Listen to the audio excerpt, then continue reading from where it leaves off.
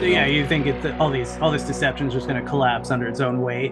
Yeah, Yeah. I mean, the only thing that can keep it going for much longer than what it than than its than its um, assigned lifespan would be literally like a false flag kind of um, uh, uh, some some kind of cosmic gulf of Tonkin.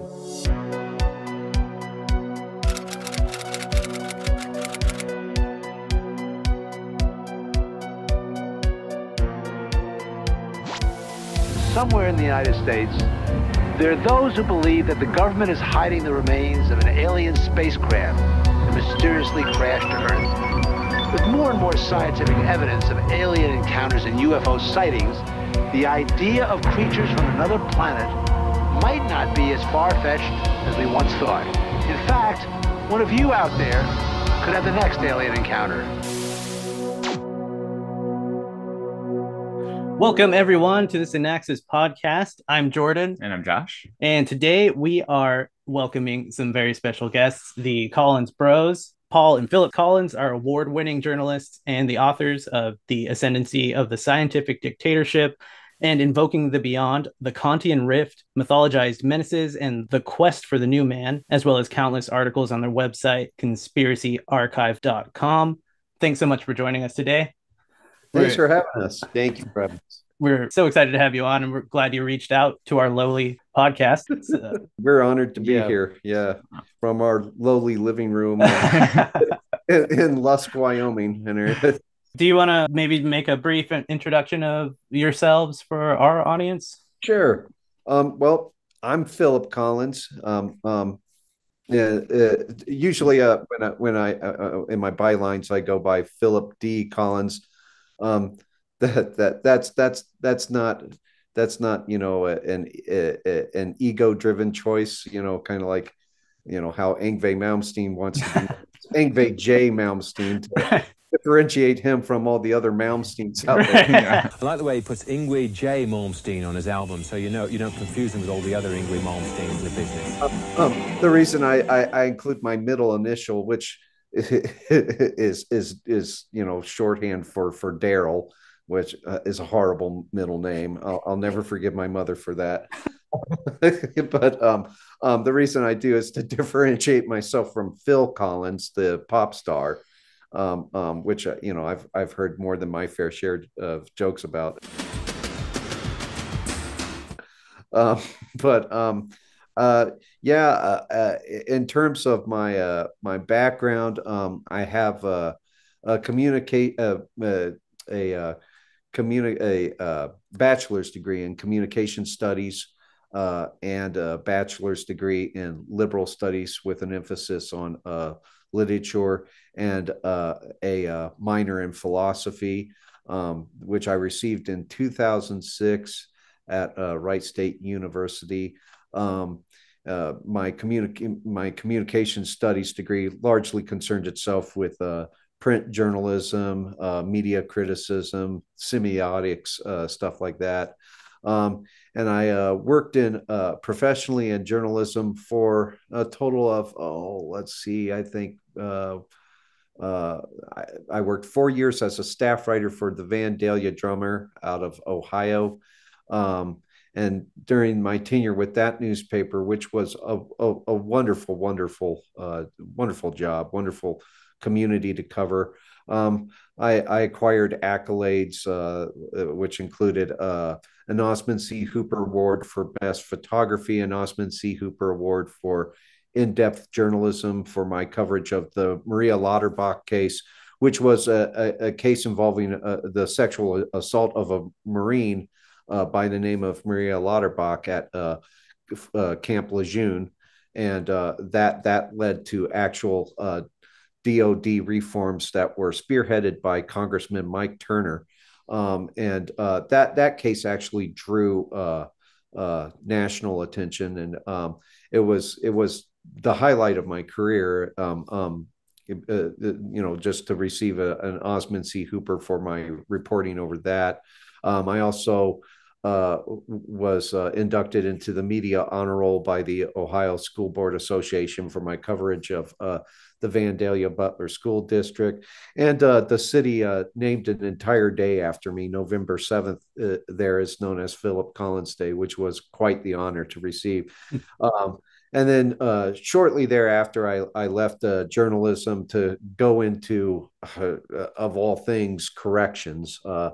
The the you know the, working in a prison, um, which I, I, work at the Wyoming Women's Center here in uh, uh, Lusk, Wyoming. But even then, even with my uh, career there, I I kept one toe dipped in the journalism field with uh, uh, my stringing work at the Lusk Herald, and I was also for oh uh, four or five years uh, a public information uh, field public information officer, an FPIO for uh, the WDOC.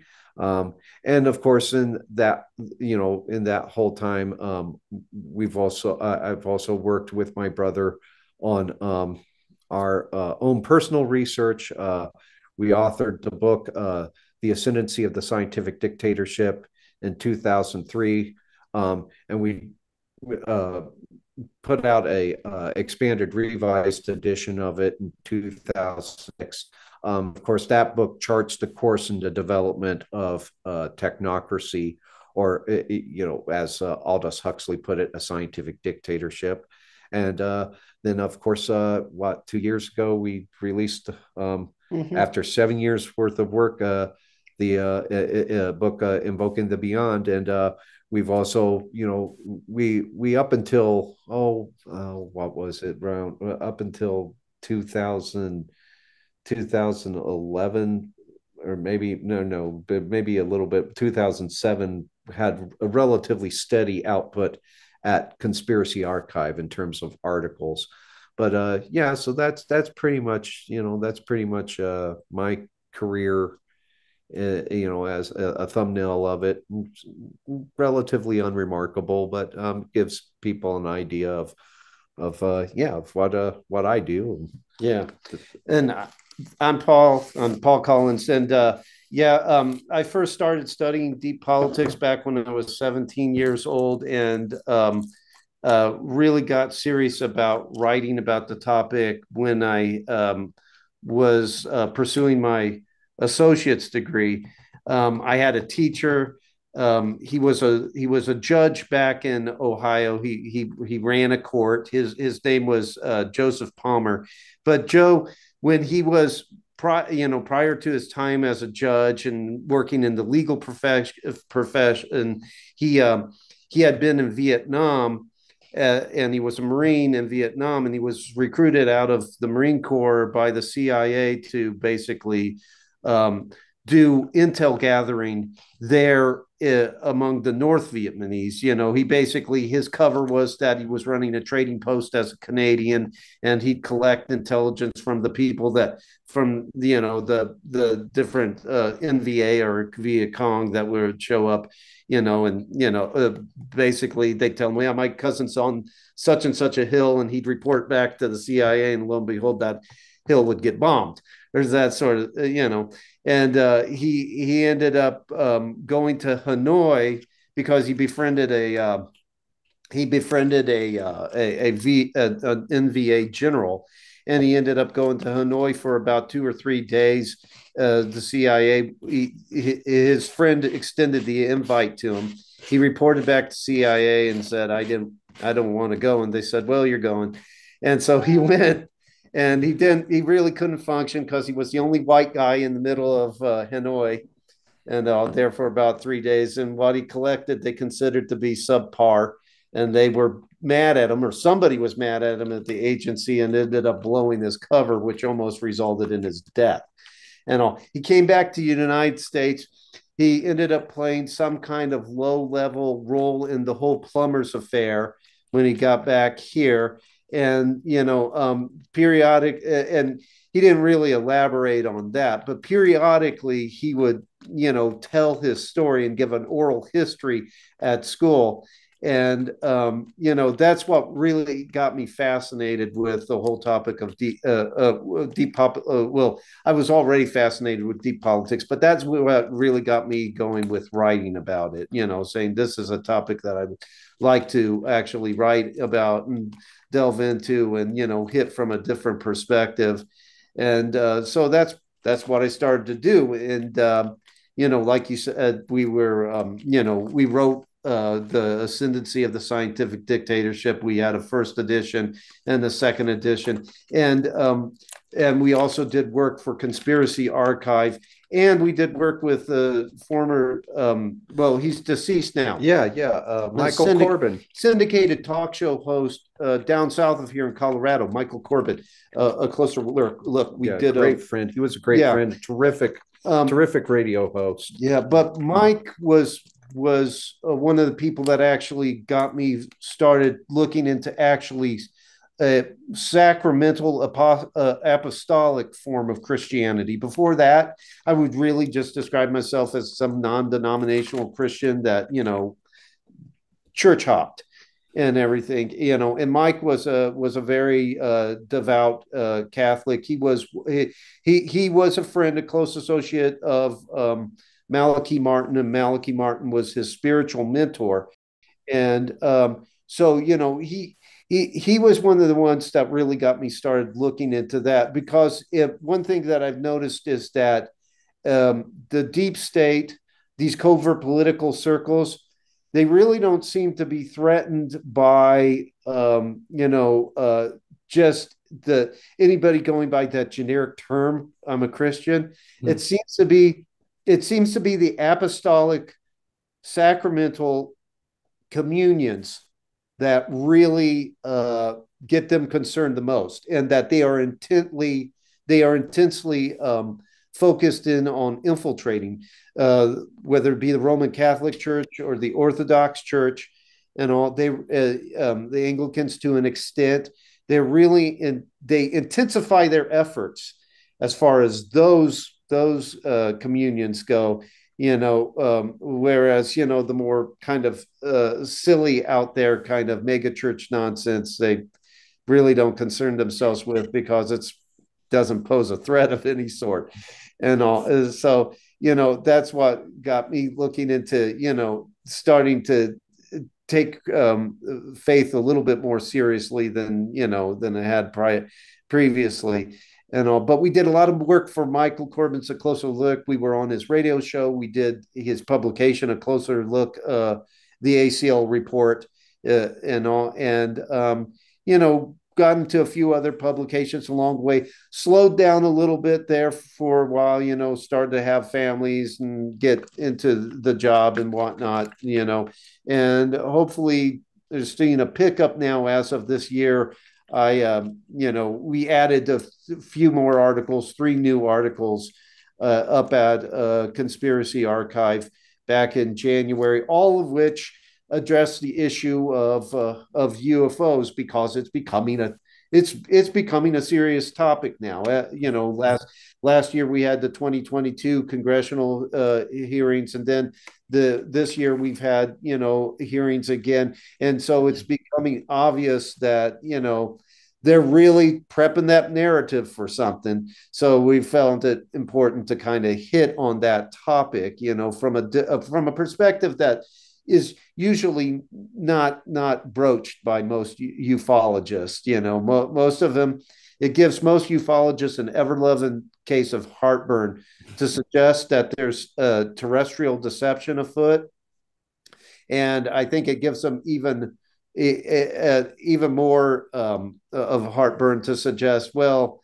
you know, where there is some kind of legitimate otherworldly uh, um, activity going on it's not of a it's not of an interplanetary nature. It's probably more of a preternatural nature and all. So it rubs it rubs people the wrong way but it's really um, an approach that has to be taken and has to be considered with this with this topic because a lot of stuff is now playing out. A lot of the trends are now playing out um, in a way that supports those those two uh, uh, you know um, contentions concerning uh, UFOs that it's that it's of a the you know that there's terrestrial deception going on for one and then for another there seems to be a preternatural element as well.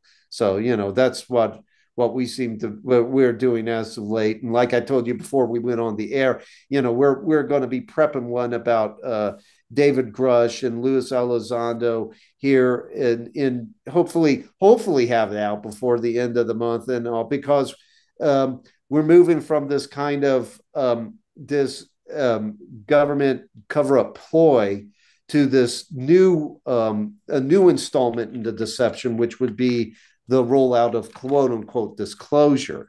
And so we want to be ahead of that game, informing people of what's going on as as far as that as far as that's concerned, because I people are going to start noticing things heating up here in that realm here very shortly, in my opinion. Yeah, I've been noticing it already for sure. Um, I mean, thanks thanks so much for that background. That was really insightful. And I, I wanted to ask you about orthodoxy because it seems like the arguments in your book kind of use that as the touchstone of all of these strange philosophies that arise. Like you track this this philosophical development through history, and you're always kind of contrasting that with with the orthodox teaching on on these things. And um, I definitely want to get into all that UFO stuff, but I thought maybe we could get into like setting up your your argument about like the Kantian rift and um, this category of the beyond and, and all of that, and then work our way back towards UFOs. Sure, absolutely. Well, um, so our our book uh, in, in our book we we uh, touch on uh, what I guess you could call a narrative construct known as the beyond, and the beyond that neologism is uh, applied to any deific force that's invoked by the para elite uh, to overwhelm national governments epistemologically and ontologically. The invocation of the beyond precipitates the uh, subsequent introduction of a deus ex machina in the form of a technocratic world state. And of course, that sort of uh, global managerial model is advantageous for the para elite who lay claim to this vaguely defined uh, socio-political gnosis that qualifies them to lead humanity towards its glorious transfiguration. So typically the beyond when it's invoked it assumes a form that is derivative of the deific powers we see populating classical mythology now uh, it was immanuel kant's uh, epistemological revolution that uh, basically rendered the world out there, uh, the external world, as uh, perpetually imperceptible. It's been rendered a terra incognita. And with the metaphysical certainties of the classical era abolished, you have the rise of this new class of myth makers um, that are free to populate that terra incognita with their own surrogates for the divine. Uh, so these these surrogates for the divine, they're they're derivative of uh, classical myths, but they're also distorted presentations of classical myths. Uh, myths they can be divided into two distinct categories. Uh, there's myths in the transcendent or classical sense, and then there's myths in the pejorative sense. Uh, myths in the classical or transcendent sense allude to truths beyond themselves. Uh, they're they you know they they they they touch upon uh, they touch upon uh, certain metaphysical insights concerning the cosmos, certain uh, universally accepted truths. Um, for instance, uh, uh, uh, you have myths such as uh, the the the myths uh, presented uh, with uh, the Hesiod. The Hesiod, for instance, uh, you know, with Hesiod in the Enuma, um, he presents a, a, a, golden age of humanity, and that golden age suddenly encounters this diminution um, and this decline, and and you see a, a, fall of humanity. Well, this this presentation of this fall parallels uh, rather closely the fall that is uh, documented in the uh, Genesis account in sacred scripture.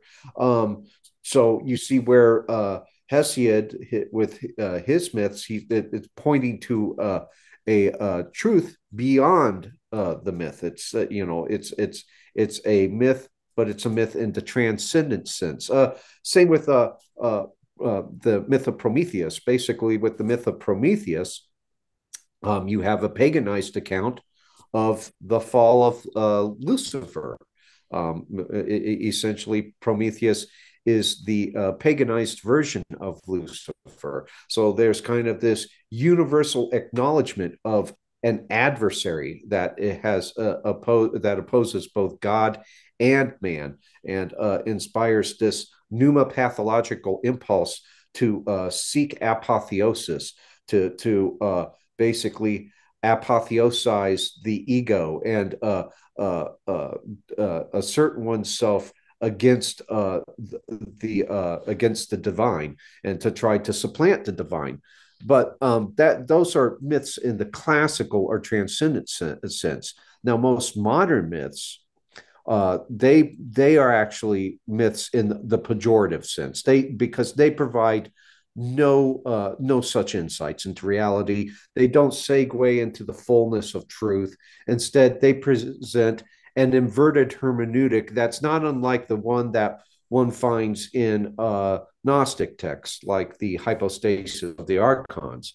Um, they they tend to denigrate the cosmic order. They elevate vices to the status of virtues, and they affirm the hubris of autotheism, of man becoming God, uh, uh man uh, basically be uh, achieving ontological parity with the divine. And within the uh, narrative framework of these inverted, the, the, you know, these inverted hermeneutics of these uh, uh, modern myths, we see heroes becoming villains, we see angels becoming demons, we see heaven becoming hell, and we see the the divine being transposed into the human ego. So these are myths in the pejorative sense, but this inversion that we we see it was upheld by several uh, theoreticians who def- defined modernity. Among them was uh, Voltaire, Nietzsche, and of course uh, Marx. Uh, Pro- Prometheus, for instance, became who, of course, was the paganized version of Lucifer, became the hero of uh, revolution. Um, I believe uh, James A. Billington, Billington in his book. Fire in the Minds of Men, um, says that most of the uh, the uh, early revolutionaries, the socialist revolutionaries, such as Marx, uh, adhered to uh, a a Promethean myth, uh, a Promethean faith, and that pro- at the heart of that Promethean faith was the uh, conviction that science would lead man out of darkness into light. And of course, this fetishized view of science um, is not uh, really uh, the uh, it's not really the proper view of science. It's it's scientism. It's it's it's the a vaunted assessment of science. It's it's uh, the transformation of science into a veritable gnosis, the means by which man achieves a deific status. Um, but we see this uh, uh, we we see this inversionist narrative on display with the various invocations of the beyond. Uh, the beyond is invoked in our book. We we uh, we cover it uh, in I believe four iterations. It, it's invoked as the wrathful earth, earth goddess, um, which is a distortion of God's immanence and the relationship of the feminine to the divine. So mm-hmm. with with the wrathful earth goddess, that's where we see the uh, the the pantheism that underpins the radical environmentalist movement, which is uh, becoming explicitly anti-human, mm. uh, which uh, uh basically uh, deifies uh, the creation, um, and of course demands some recompense for this wrathful earth goddess, the Gaia, in the form of technological apartheid and population control. Um, the beyond is also uh, invoked as uh, AI and technological uh, singularity, and that's a distortion of God's transcendence. It's it's God's transcendence reinterpreted as the mere circumvention of uh, biological constraints. Um, the humanity uh, uploading itself into uh, a, a, something of a digital pleroma and uh, uh, in so doing, uh, basically uh, being able to circumvent the uh, constraints of biology and uh, the constraints of, of physical embodiment, thereby becoming uh, a, an incorporeal force that's uh, that is ontologically ontologically equal with God. Um, then we have the beyond invoked, invoked as the super weapon, um, and that's basically the Promethean flame reinterpreted as this attainable deific uh, power. Um, um, and it, it's it's it's uh it's uh, a gnostically the the super weapon is this gnostically reinterpreted messiah that will liberate humanity from corrupt materiality and then of course lastly we crescendo our uh, examination with the beyond invoked as extraterrestrial gods which is a reinterpreted uh, taxonomy of angels demons and uh, other uh, heavenly beings the most significant of which being um, God. But uh, the uh, beyond its invocation, like I said, is made possible by the uh, epistemological revolution that was set into motion by Immanuel Kant. Hmm. And with Immanuel Kant, what Immanuel Kant managed to uh, erect is what we uh, call the uh, Kantian rift. And that, that neologism is what we assign to this epistemological disjunction between phenomena, that is to say, the world of appearances, and noumenon, or that is to say, the ding an sich, or the thing in itself. And this bifurcation, of course, is uh, imposed upon epistemology by Immanuel Kant, who lived between, I believe, 1724 to 18, uh, 1804. And uh, uh, in Kantian terms, Phenomena refers to objects that are discerned through sense perception, which supposedly structures the world uh, in a manner that's potentially disproportionate with reality. So, uh, phenomena really amounts to mere appearances. So, man can infer only so much from these observable uh, uh, occurrences. He must, however, maintain a, an overall agnosticism and a perennial epistemic incertitude concerning the true nature of those uh, objects portrayed by phenomena. So, phenomena are, are really just uh, in Platonic terms, the shadows dancing upon the walls of the wall of the cave. They're vague representations of actual uh, objects. In contradistinction, noumenon refers to objects that must be discerned independent of sense perception. And it was with Kant's invocation of this term that we see ourselves uh, confronted with uh, considerable terminological inexactitude because in the pre-Kantian world of ancient philosophy, noumena were eh, they noumena were typically associated with the transcendent order, and they they were typically discerned through intuitive reason. For instance, Platonic ideas and forms those qualify as noumena. Uh, for the Platonic realist Proclus, the forms were thoughts within the minds of God, but uh, Kant redefined noumenon as the ding an sich, as the thing in itself, objects as they exist apart from man's potentially deceptive faculties of empirical observation. So, according to uh, Kant, humanity's perception of the empirical world is restricted to untrustworthy representations. The noumenal world remains perpetually imperceptible and chaotic. Gone is the harmonious cosmos of ancient Greek philosophy. Gone is the beautiful creation that God deemed good in the book of Genesis. All that remains is this alien world of appearances. And man can know no experience apart from that which is framed for him by the spatio-temporal uh, matrix.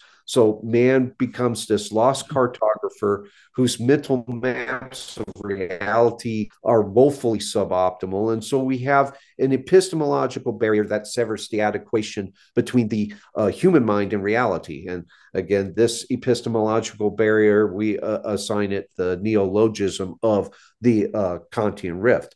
But with man's consignment to this epistemological prison, um, we, we see the confiscation of a piece of philosophical contraband particularly derided by modernity, and that uh, philos- the, the that that uh, philosophical contraband is metaphysics. Um, the philosophical discipline of metaphysics, of course, concerns itself with the discernment of reality's ultimate nature and its structure. And of course, this discipline is neutered if Kant's uh, position of indefinite epistemic incertitude holds sway. After all, if you, one can only discern the order and structure of reality if their epistemic faculties are trustworthy, but on Kant, they are not. So reality remains you know eternally unintelligible. And, even greater ramifications follow from this indefinite epistemic incertitude. The cher- cherished metaphysical certainties of the classical era mm-hmm. the soul the transcendent order god all are relegated to this fog of agnosticism. And this world the, this world would be inaccessible to an angel announcing salvation. Uh, in fact, no savior could ever redeem such a world or ascend from it. So the slightest intimations of the transcendent have been purged, and all that remains is terra incognita, this chaotic, impenetrable world. So, of course, the world out there rendered as a, a terra incognita that that provides the uh, parallel with um, um, the sort of uh, the sort of uh, uh, the sort of cosmic order of things where where they can begin to sculpt their own uh, surrogates for the divine, and mm. that's where we see these uh, iterations of the beyond taking shape. That was a great summary. I think that the the process that you're describing reminds me a lot of what Rene Guénon talked about in the reign of quantity yeah. where he says that materialistic scientism cut off the realm of the divine the understanding of the yeah. soul soul and god and then that movement of anti-traditionalism starts since man is a spiritual religious being his religious impulse has to go somewhere hmm. but since the divine is cut off it starts like everything comes up from below he says. So like it all of these like demonic iterations of of religious yeah. uh that great that great wall starts to solidify but the cracks appear at the lower level where all the inferior creatures or infra, infrapsychic beings would exactly. So materialism made a vacuum that had to be filled by something. So these deleterious spiritual influences start creeping in. Yeah, uh, absolutely. You, you, even see it um, going back um, to 1926 when um, when uh, um, uh, H.P. Uh, Lovecraft when he writes his classic now, The Call of Cthulhu, in 1926.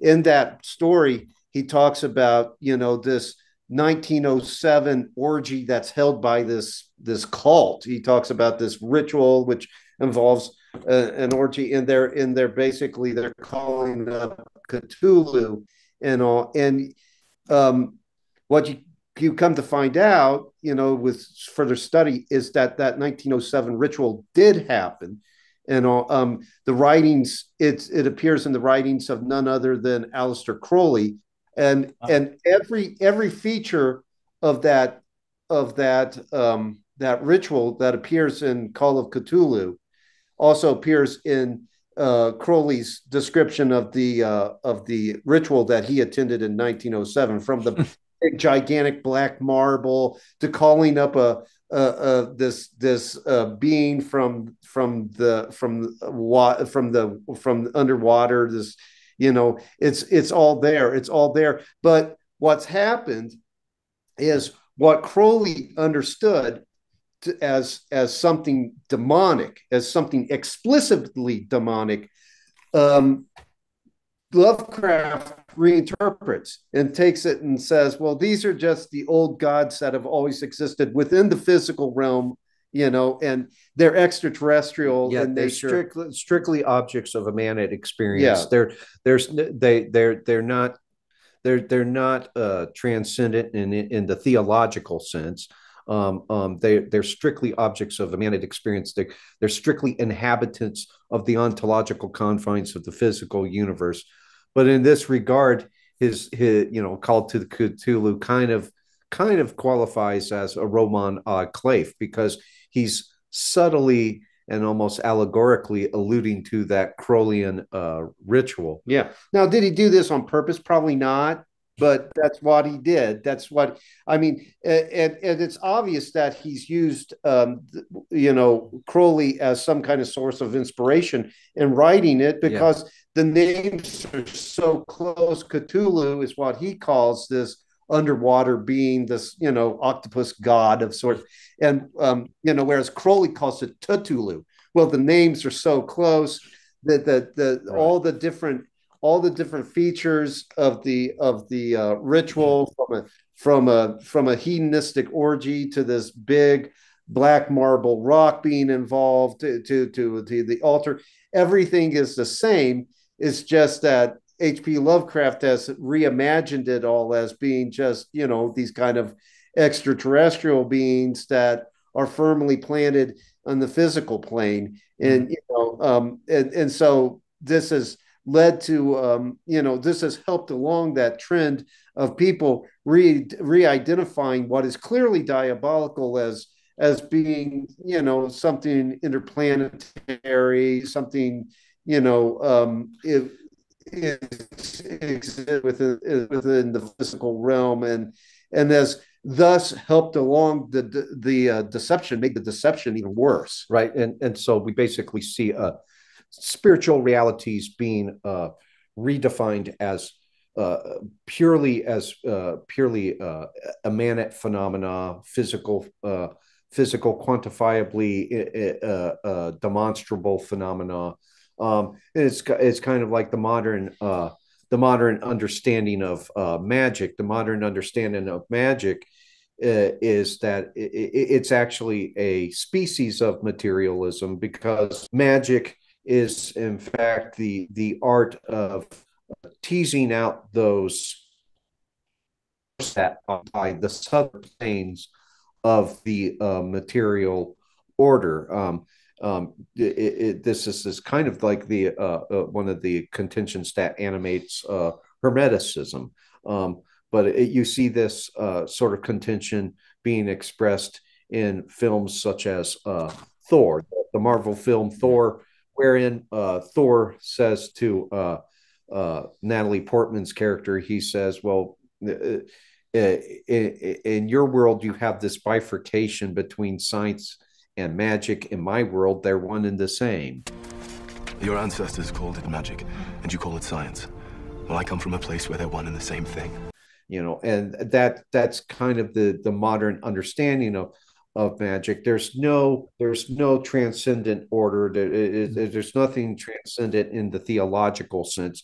If, if when when there's talk of transcendence, uh, transcendence is redefined at, at, at, at, instead of being outside of the ontological confines of the physical universe. It's redefined as moving beyond the constraints of of uh, physical reality yeah. of moving beyond uh, all of the cherished constraints of of uh, of uh, uh, uh the uh, classical era, moving beyond human finitude. Now, there has been periods in history where the jig has almost been up, where the veil was almost ripped away.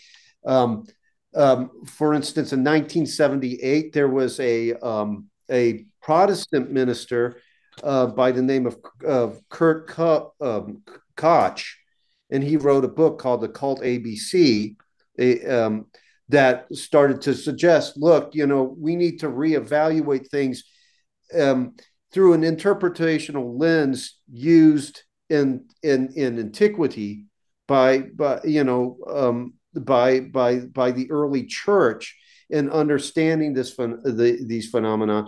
And you know and and he's like if you look at all the different aspects of you know of these um, extraterrestrials, you know, it it closely aligns with what what we understand, what the ancient church would have understood to be the diabolic, and um, then um, uh, is, is, um, Seraphim Rose, Father Seraphim Rose, he drew upon both Rene Guénon and upon Kurt Koch when he wrote his book orthodoxy and the religion of the future. And he fleshed it out even more. And he said he you know he said um, um, that um, you know people from the medieval period of history, people, you know, uh, that took their religion seriously, you know, back in antiquity, with they, if they had seen the things that we were seeing, they would instantly recognize it as as the demonic,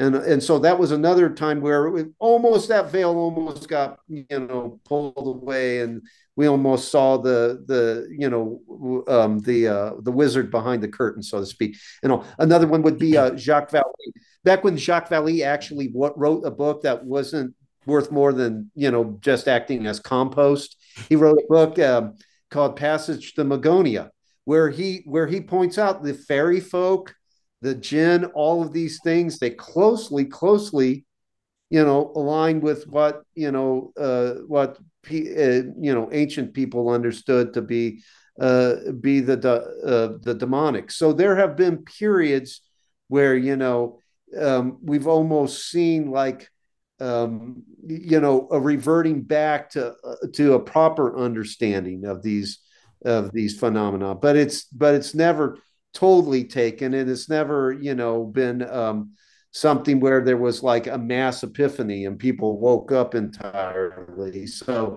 so you still have, especially when you look at all the different um, all the different cultural artifacts throughout uh, in, in the realm of cinema, you still have this this presentation of anything that angelic, anything demonic as being extraterrestrial in in nature. And um, some of this has just been organic, but a but a lot of it has actually been you know facilitated by covert political uh, uh, covert political forces.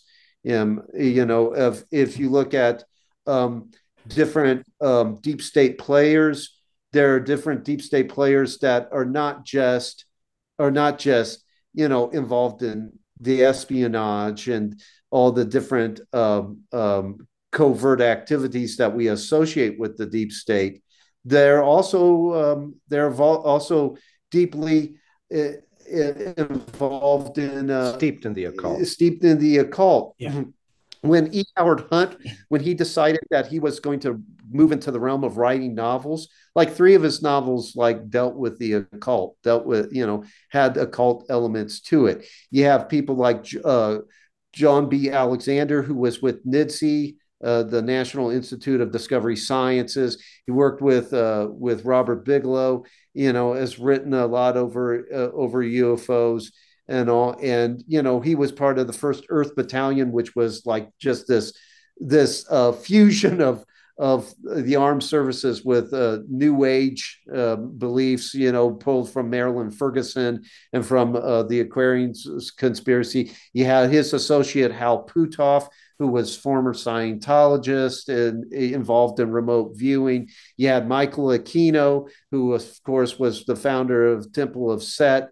And, you know, of course, the Temple of Set had a lot of uh, exotheological additives in it, the god Pantechnicon from outer space and the like. You know, so you have these guys that are that are both they're they're deep state players, but they're they're they're they're almost moonlighting as deep state actors, and their main thing is occultism. You so you have that overlap there. Yeah, I want to underline that idea that you, you do such a great job tracing the strain of these elites, for lack of a better term, who basically make themselves like Plato's guardians of the Republic who who can like uh uh dictate the culture. They have this worldview that the physical world is this totally malleable thing. And since they have they have this like privileged secret gnosis, they're the enlightened ones, so they have the power to uh exact their will and reshape the cosmos in their own image.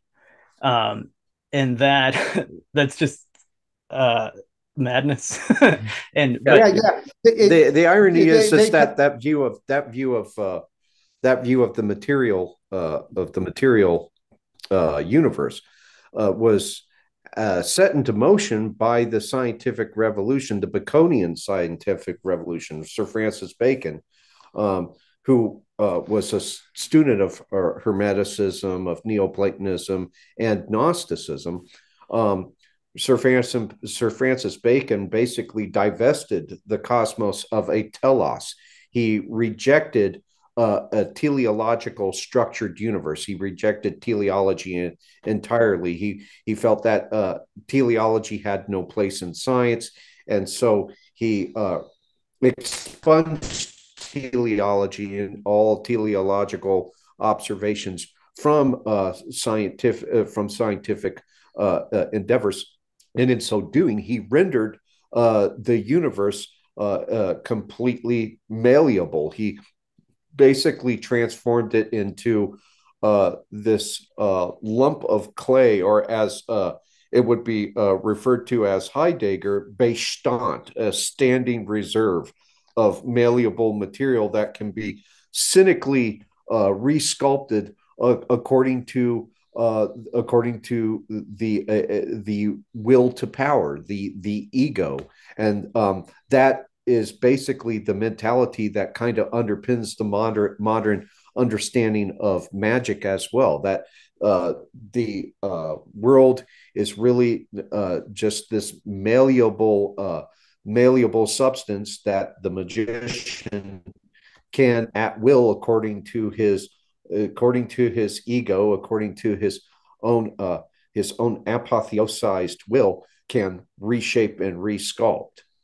And that's and, another ironic thing um, that you point out is that on the one hand they reject telos and purpose in the world but then they also seem to have this idea that we're evolving towards some kind of transcendent yeah. uh, right. Right. It, it's it's it's this this bizarre internal contra- contradiction. On one hand, they advance a dysteleological view of the cosmos. Um, um, this this dysteleological view, which by the way echoes very closely the dysteleological view of the uh, universe taken by ancient Gnosticism. Of course, ancient Gnosticism held that uh, the the universe was a cosmic abortion, a deceptive simulacrum presided over by archons, that uh, the uh, biblical God, uh, the Jehovah, the, the creator God, was actually uh, an, an, evil uh, demiurge who who created out of uh, out of some motivation of the errant will, um, and that all is all is all is just illusory. Um, and and by the way that that sort of uh, that sort of view you can see it also um, um, you can see uh, here is the detect intimations of it in the epistemological revolution set into motion by Kant. But at any rate, you have this dysteleological view of the uh, universe, but at the same time, um, you're saying that this universe is is governed by you know uh, Darwinism and um, governed by uh, the evolutionary process. Well, the problem is is that the evolutionary process is in itself irreducibly teleological. It's striving towards a telos that uh, you know that all things are are evolving and developing and, and uh, arriving at a purposive end. It's just not the purposive end that uh, uh, uh, antiquity and the classical era saw for the cosmos. Instead, the purposive end, the telos towards which they see the universe striving, is uh, one that is uh, sculpted according to their ego, according to the will to power. They almost need to fall back on that too, when especially when you're dealing with the occultist within deep state circles, the um, because um, it, it helps them rationalize what they're doing and continue doing what they're doing. Um,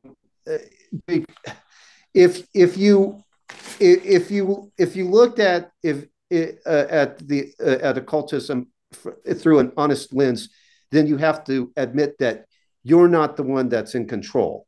Um, uh, it, it, because what what what's really going on is like that these forces are controlling you are the puppeteers and they're giving you the impression that you're the one behind the driver's seat that you're the one holding the steering wheel and all. And um and all you end up really being actually is is is a puppet that's being um that's being moved uh, you know by by forces with to, who dictate the terms. You don't set the terms; they do. And you know, um, believing you know uh, uh, this way, uh, you know, uh, allows these uh, deep state players that are involved in the occult to delude themselves and, and continue to uh, and continue to do these practices because believing this way, you know, convinces them that they're the ones in control. They can stop whenever they want. You know, they can break, you know, with this whenever they whenever they whenever they please. And and you know that's just that's not the way that it what that it that it is. And you know um that eventually this is the the re- reality will assert itself.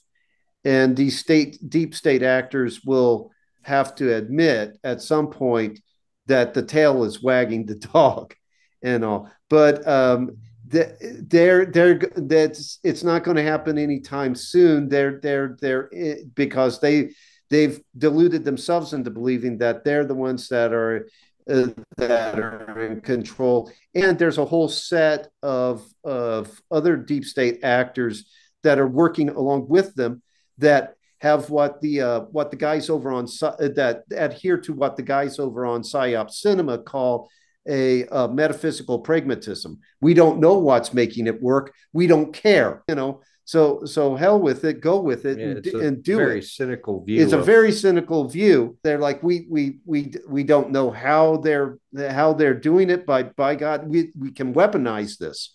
We can exploit this. So so go ahead, make it so, make it happen. You know, and that's just that's going to continue to push things, you know, closer to the precipice of hell. You know, it's kind of scary in a certain in a certain respect because what you realize is that uh, is is that the the deep state isn't the um, isn't in control of everything, and that it's forces beyond the deep state that are in control of it. That are that's the overarching, you know, monarchs, so to speak. the puppeteers. Yeah, that are the puppeteers, Yeah. and you know, and they all ultimately call the tune, and they'll determine where it's over. You know, if it was merely, you know, humans, we might be able to actually kind of, uh, kind of stop it from reaching its natural ends, but that's not that's not the case at all. You know, so That's a great point. These so these metaphysical pragmatists have convinced themselves that they're they're working towards some positive progress, some kind of Yeah. Guiding evolution, but it it all it seems like is they're unwittingly building the kingdom kingdom of Antichrist. you know they'll sit there and they'll shrug and it, it's like they- they'll have these individuals doing all this remote viewing. And and you know which is really ultimately when you get down to where the rubber meets the road it's either an inherent psychic ability that man was not meant to touch he's not mature enough to and so god turned it off with the fall or it's divination and that's what i believe that in most cases it is it, it is it's de- it's divination which you know scripture tells us is is um um, is abhorrent. I believe it uses the actual term abhorrent to refer to it, which shows the severity of it and all. But but you know um, these these these deep state actors are setting aloft and saying, but look at all the intel we've gathered with it. Look at all the lives we've saved on the battleground Right. you know look at how many uh, you know how many terrorist attacks we were able to stave off or or uh, you know how we were able to counter all the different moves of other um, of other state players or rogue states pariah nations look at how we were able you know it, they, they don't they don't look at the um, at the um, trade-offs that are invariably on their Right. way And that's how they try to sell things like Neuralink and, and all of these uh, invasive uh, Yeah. technological things where it's like, oh, we can cure uh, paral- paralysm or, you know, um, paralysis yeah. and, uh, and uh, all these like uh, or uh, prosthetic limbs for people.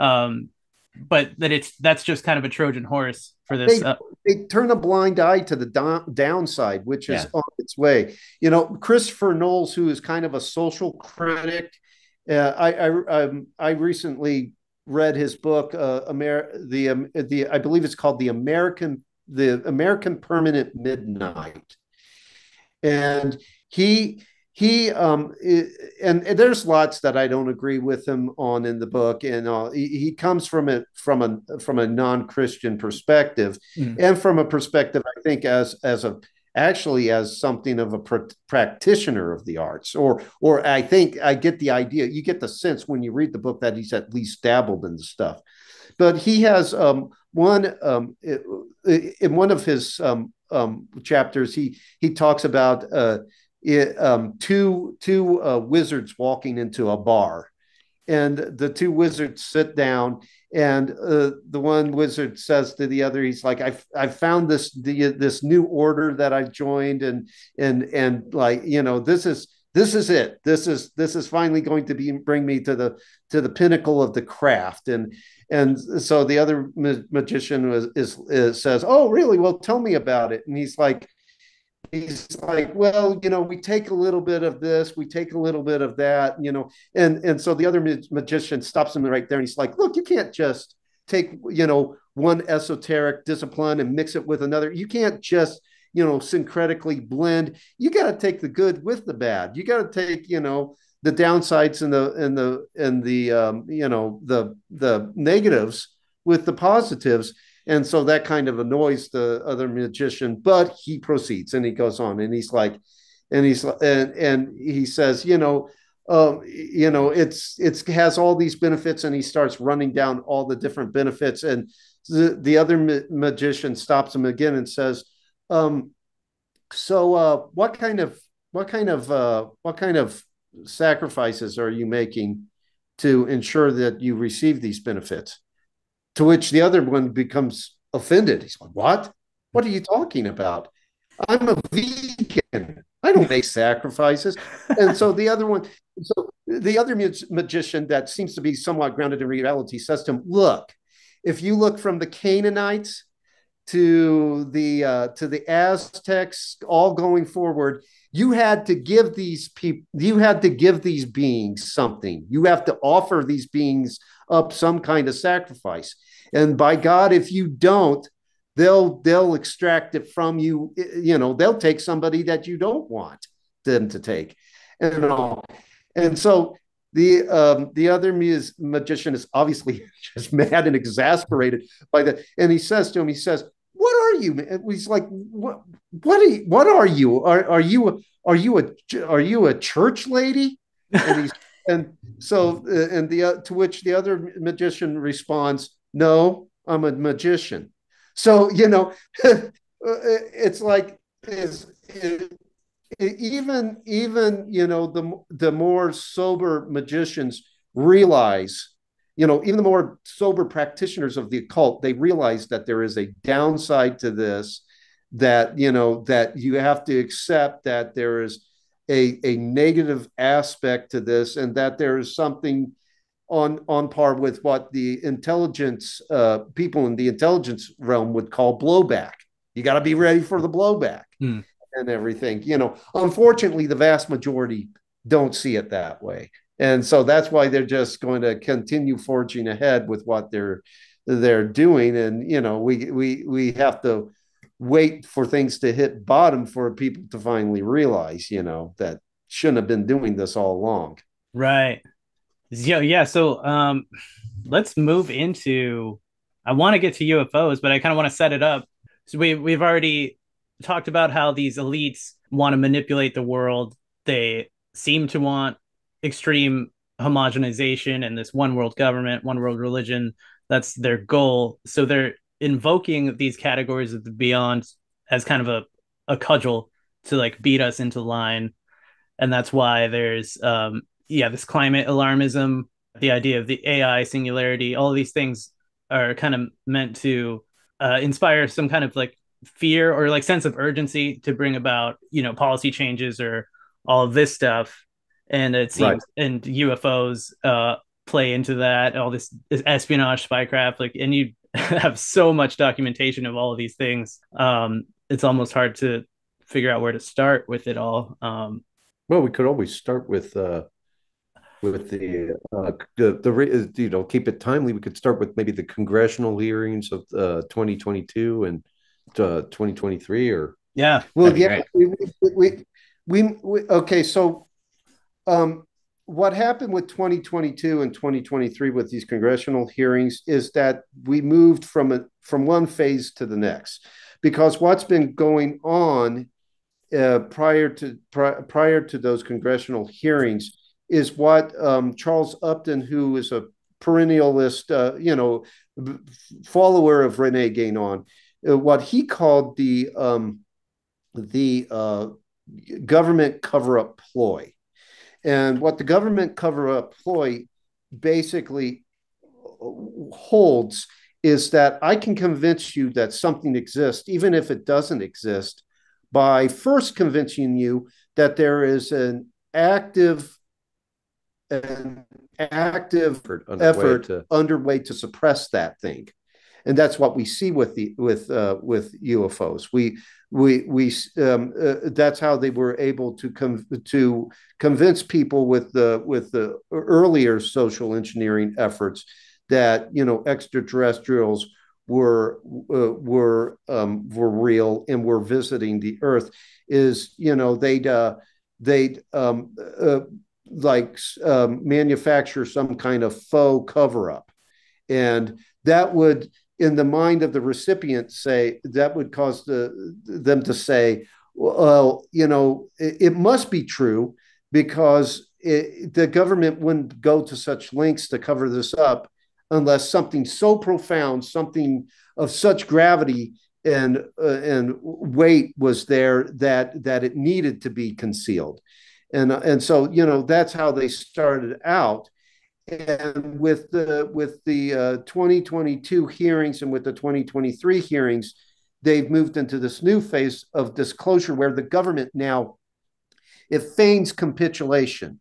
It pretends like it's running up the flag of the, the white flag of surrender and all well you finally got us. And now we're begrudgingly giving you the truth and here it is. And uh, and all the efforts of these quote unquote whistleblowers uh, is now starting to uh, to pay off. And uh, one of the individuals who uh, played a role, a main, a, big role in the um, in this disclosure uh, phase, uh, was presented to the public during the 2023 congressional hearings. It was a um, United States Air Force officer named David Grusch, and David Grusch he comes with these credi- credentials that are causing a lot of people to take what he says seriously, even though his claims, if you listen to his claims, they're really, they seem to be only derivative of overused themes that have been in the UFO community for years and years and years. When, because he, he's, he's asserting that there's a legacy program where you know there's been a retrieval of these craft and then reverse engineering of these craft. Everybody is now acting like that's some kind of novel assertion. That assertion's been around since not since since Roswell actually you know, um, since whatever crashed in Roswell happened, and uh, you know, and uh, William Moore and Charles Berlitz himself, a member of the intelligence community, uh, you know, uh, wrote the first real book giving us the extraterrestrial interpretation of Roswell, the, which was the, the Roswell incident. But people are now starting to think that this is actually something new revelatory, you know, even though it's very old and stale. And if you look at Grusch, if you look at who um, at, at who represents him, it gives you an idea of you know who are the forces behind him the covert forces that are using him to actually um, to to actually push along this disclosure uh, narrative and in the debrief article which where he first appeared which was written by leslie king and ralph uh, uh, leslie kean and ralph blumenthal um, it it points out that he was represented by uh, charles mccullough iii who is a senior partner at Compass Rose Legal Group in Washington, in Washington D.C. And the Compass Rose Legal Group, um, what they are is basically it, it's more than just a Washington-based national security law firm. That's what they pass themselves off as. But it also appears to be a repository for for spooks. Andrew Kaj, who founded the uh, the that that legal group, um, actually was with the CIA and actually claimed to be a whistleblower himself who had found some um, uh, witness uh, evidence tampering, I believe, in the um, in the um, uh, uh, in the um, attorney the uh, in, inside the CIA, and this had led to him uh, facing reprisal and the like and what what might have we, we have no idea if he was really a legitimate w- whistleblower or if what was really going on was just some of the internecine kind of fighting and power struggles that happen in the CIA.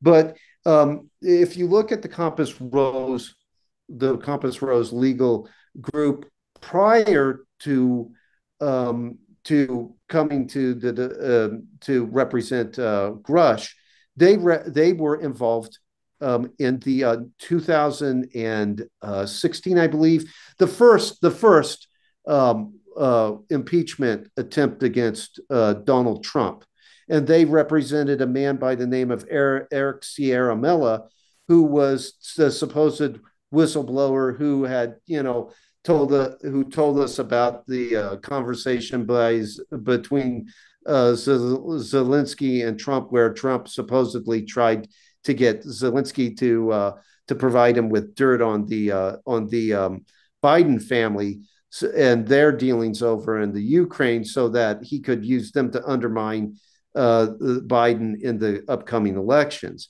and all.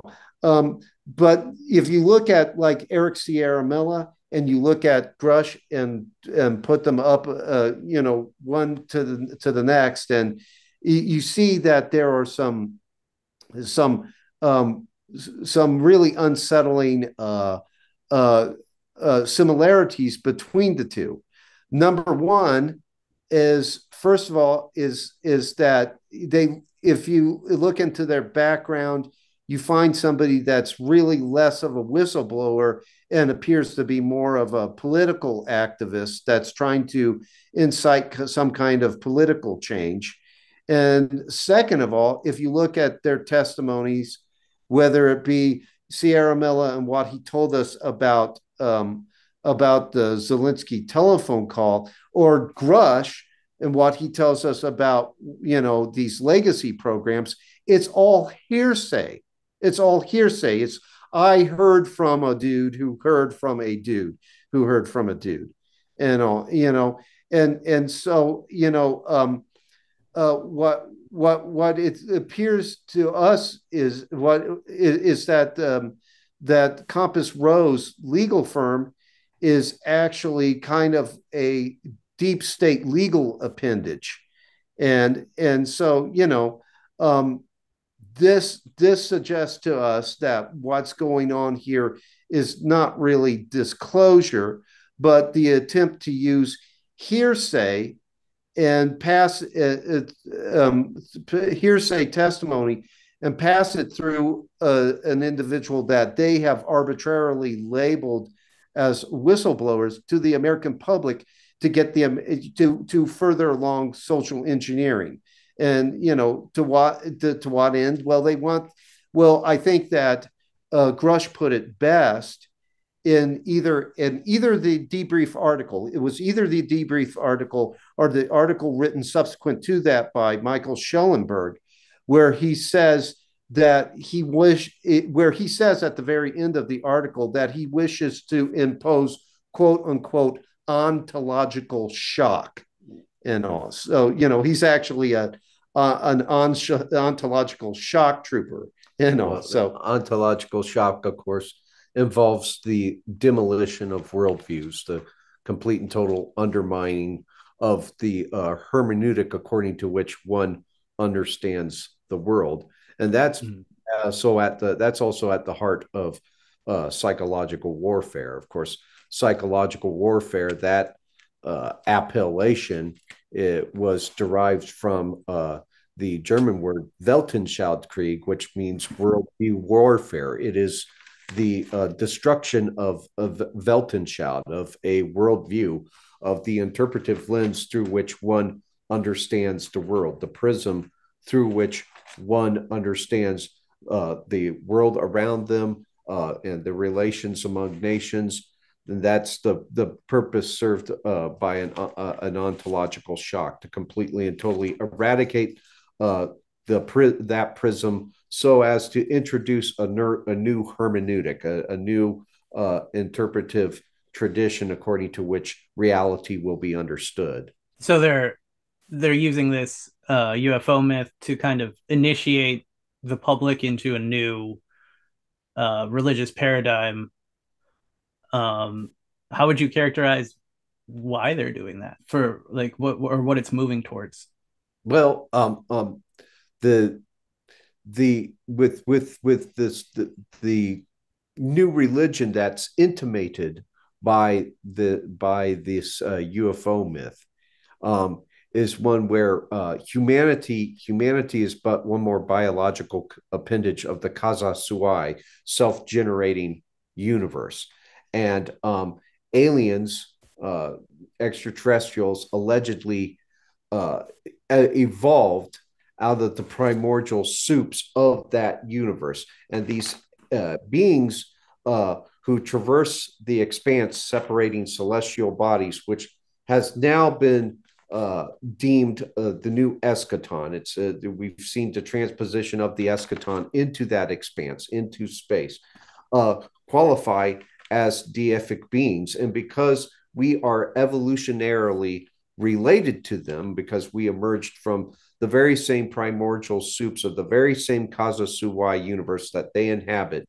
Um, we must be in, in, in, the very same through the very same evolutionary processes, arriving at uh, at uh, apotheosis, mm. at, at a glorious transfiguration where humanity slays its humanity in a Nietzschean sense, moves beyond its uh, humanity and becomes God.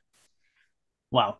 The, the the lie in the garden reiterated yeah. is what is what we is what we have here going on, and um, and and um, does Grusch realize he's being used in this way? Um, there's some question as to whether he does uh, or doesn't, uh, because he, he, seems to have even contemplated at one point the possibility that the UFO information that he had received from all these different interviews that he was doing with intelligence officials um, was all lies. Uh, I mean, like he did an interview on News Nation, uh, you know, around the same time that the debrief article came out, and he said, he said, quote unquote, I thought it was totally nuts. I thought at first I was being deceived. It was a ruse, unquote. I thought it was totally nuts, and I thought at first I was being deceived. It was a ruse. I remember interviewing these personnel. Uh, I'm like, either these people are lying to me, or having a psychotic break, or this is some crazy but true stuff that's happening, and I have no good explanation that's prosaic at all for this. And somehow, you know, he was able to overcome his doubts and release his so called revelations and, you know, so did he actually come to believe the intelligence officials that he had, you know, that he had spoken to? Because the intelligence officials obviously never lie, you know, um, but, you know, being facetious there. Or did he decide to willingly participate in this disinformation campaign and all? Um, that last statement that he made at the very end of the article, where he said that he hoped to impose ontological shock, that seems to suggest to me that he he decided to engage uh, uh, to you know with full knowledge in the lie because he regarded the lie to be a noble lie, to be the noble lie, and that actually you know breaking down you know um, the systems of belief that are currently in place in the world was actually something noble and would you know lead to a, a, system of belief that would be actually much more advantageous to humanity. And also you know that's it's possible that he knows exactly what he's doing. And another thing is that whenever he's called upon whenever he was called upon i watched i watched uh, large portions of the uh, of the uh, hearings. Whenever he was called upon and, and this goes back to the whole hearsay um, you know the fact that it's that it's all hearsay whenever he was called upon to bring evidence forward to support what he was saying, he's like, I'd like to move to a SCIF I'd like to move to a SCIF And was this documentary evidence, this video, photos, eyewitness? Like, how would that be determined? The specific documentation I would have to talk to you in a SCIF about. Now, what a SCIF is, is that that's a, um, uh, uh I'm trying to remember the acronym, uh, you know, accurately. It's uh like a secret compartmentalized information facility. Mm-hmm. I believe that's what it is. So it's kind of like going into executive session. He wants to move over to exec to kind of an executive session where he, you know, um, where he divulges this information in confidence with only uh, only the uh, congressional participants and and lawyers are present and everything. Well, what good does that do the public? And how does the public know that what he's saying is is um, is true? How, maybe maybe if he does divulge if he released it in the public hearings as opposed to in a SCIF then the public would find it to be so flimsy and so weak that this whole thing would fall apart instantaneously. Uh, he doesn't want it, it can't fall apart just yet. Mm. You know, it, it, it has to do its job as as a as as a solvent as an as an acid that eats away at our at our our our systems of belief hmm. so you know let's have it be a SCIF you know let's let's have that those revelations uh, come out, those disclosures come out in a SCIF at first, and just let you know, just let the assertions, you know, play, run wild and wreak havoc on what people believe. You know, these all these n- ridiculous assertions. We found non-human biologics at crashes, yeah. stuff like that. Which, uh, incidentally, that I found that to be hilarious because he doesn't say extraterrestrial bodies; he says non-human biologics. Right. Yeah. Well, a monkey is a non-human biologic, and we've been eating monkeys. You know, that's how the that's how the space program. That's that's how at least the above ground space programs got started. You know, it was shooting monkeys into space. You know, so you know it could be anything. It could be a dog. It could be a uh, it could be a shaved orangutan. You know, it it could be just about anything. You know, and and but but what he's hoping is by putting that out there that you know that will be yeah, enough the, the to public, shake yeah the public mind will draw its own conclusions yeah mm-hmm. on the basis of presuppositions that have been engendered over years and years of indoctrination through sci-fi films uh, through yeah. uh, uh, they, they, the promulgation of uh, ufological literature and and the uh, popularization of uh, certain theoreticians like Stanton Friedman and what uh, of the field and the the public imagination will simply do the rest with these fairly ambiguous and nebulous uh, terms yeah. that he uh, continues to uh, just release into the ethos. We'll, we'll, go to work. Our imaginations will go to work on the quote unquote revelations and something punctuated equilibrium will happen. And uh, the the person that sits there and hears him talking about non-human biologics that really doesn't have a uh, is you know doesn't have a critical eye on this whole thing will say mm-hmm. what maybe it's true maybe maybe maybe what the, what what miss clary was teaching me was saying at sunday school has been all a lie you know you know, by the time it comes out that this was all gas, it's too late. You've already, mm. you know, you've already disassembled. Yeah, your the, the, meme has been the meme has been planted in the mind. The ideational contagion is released, and uh, people are beginning to think uh, and interpret reality as you had hoped they would. See, because the way that I think that this will play out, the the the pattern I think that it will follow is if um, um, much like what happened with the Holloman la- uh, UFO landing. Did you ever look and have heard about that one? Um, um, uh, maybe you refresh my memory on that one. Okay. Um, supposedly, this these emissaries from another world land and met with um, emissaries from our world here, you know, and at, at an air force base, and um, it, it really the myth got started when um, Robert Emenegger was uh, putting together a UFO documentary. I believe that it was called UFOs Past, Present, and Future. and he had been promised by the United States Air Force actual film of this Holloman landing that had supposedly happened.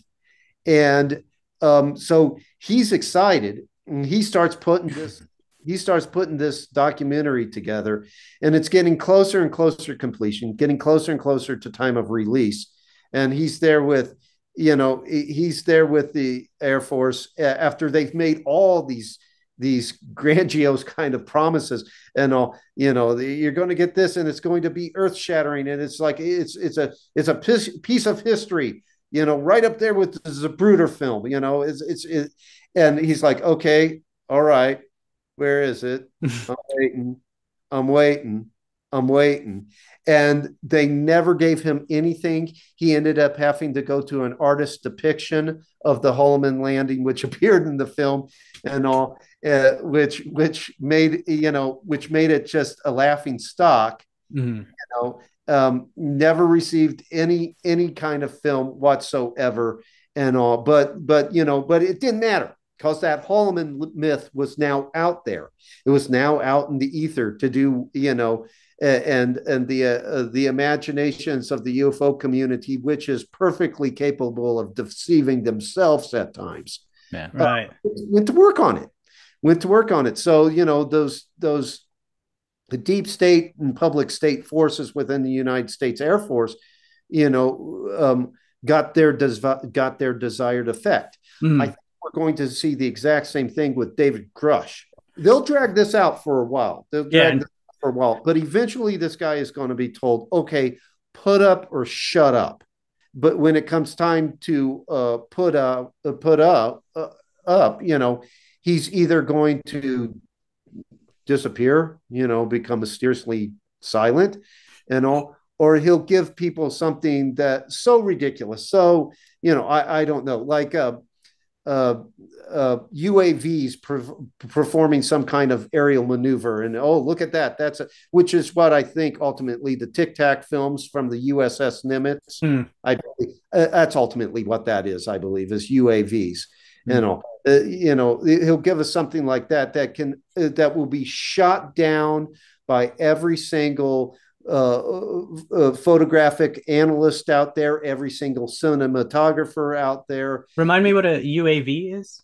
Oh, an unmanned aerial vehicle. Oh, okay, yeah, yeah, a drone. Mm-hmm they've been playing a role in this deception forever and a day. If you go back to the Paul Bennewitz affair, hmm. yeah, uh, Mirage Man, yeah, where Paul Bennewitz was was basically driven to nervous exhaustion by all that they, that William Moore and the aviary and uh, the AFOSI were feeding him and all. But it, uh, UAVs played a role in that because uh, um, Richard Doty flew him over what what, what he alleged was the site was a crash site of, for UFOs uh, of a of an of an extraterrestrial craft, and what it was most likely, and all when you look at the pictures that you know Bennewitz sketched off of what he had seen, is it was more likely a, a UAV prototype in the early developmental stages. Mm. So I mean, like these UAVs have been playing a role in it in in the deception forever and a day. But that's what a grudge will ultimately do. He'll he'll he'll produce produce some of the most subpar evidence or just shut up altogether and just disappear. Right. So this yeah. idea of the quote unquote noble lie seems to be the crux of all of this. Uh yeah. You there are those famous quotes that you cite of like Reagan and MacArthur and all these people saying like if only we had this extraterrestrial threat to unite the world. Yeah. Uh, if only we had something to inspire um, this homogenization. And you, uh, I think Philip, you recently on Twitter posted this article about Avi Loeb, the the. Harvard. Yes. Where he says basically the same thing, where he's like, "Oh, we'll, yeah. we'll we'll discover these neighbors. We'll see them as gods, and and they'll That's inspire right. us." To... Avi Avi Loeb is directly patched in with these deep state actors that are doing it. His Galileo project has on it Christopher Mellon, and Christopher Mellon's family has been involved in uh, in intelligence since the formation of the OSS, going back to Paul Mellon and um, several other uh, Mellons, the Hitchcocks, which the Hitchcocks are basically an appendage of the Mellon family, and Luis Elizondo uh, who was also introduced to the public by the same journalist that introduced David Grusch to the public, uh, Leslie Kean. Leslie Kean tries to play herself up as a humble, lowly journalist that you know is just tenacious and and you know hardworking, gets to the the the yeah, meat of a story, legitimate truth seeker. Yeah. Her family is the Kean family, the Kean political dynasty. Her uncle, uh, um, uh, her uncle is actually um, the Kean who founded the Kean Commission, the 9/11 Commission, who headed up the 9/11 Commission, and and he even you know has said that the 9/11 Commission was a sham and was quote unquote set up to fail. And you know if he's if he is so you know if he's involved in um, in fa- pushing false narratives, then you know the likelihood that his niece is involved in uh, in uh, pushing false narratives has to be has to be considered as well. But she also introduced us to Lou Elizondo, who was claiming to head up um, AATIP within the Pentagon, and you know there and um, if you look at if you look at Lou Elizondo's background, Lou Elizondo's father, Lou Elizondo, because he's Lou Elizondo the fourth. His father, Louis Elizondo, uh, Lou Elizondo the third, was a member of Brigade 2506, which was the brigade that was involved in the Bay of Pigs landing. And the Bay of Pigs landing uh, was um, was organized largely by a man named E. Howard Hunt, which was considered to be one of the penultimate covert operators. He's who he's who Ethan Hunt is from um, Mission Impossible is mm, based off of, and everything. But E. e uh, but E. Howard Hunt was was very very close with the Cuban exiles that were part of the Brigade 2506, and in and um, E. Howard Hunt is also known to have been a UFO disinformation agent because he passed along to Douglas Caddy, who was the lawyer for the for the Watergate burglars for a short period of time, that you know that um, that JFK had been killed to conceal quote unquote the alien presence. Mm-hmm. So he was able to insert you know the whole notion that JFK was killed to hide an extraterrestrial presence here on Earth. He was able to insert that into the lore through uh, through Douglas Caddy, among other people. So you know, so it looks like Lou Elizondo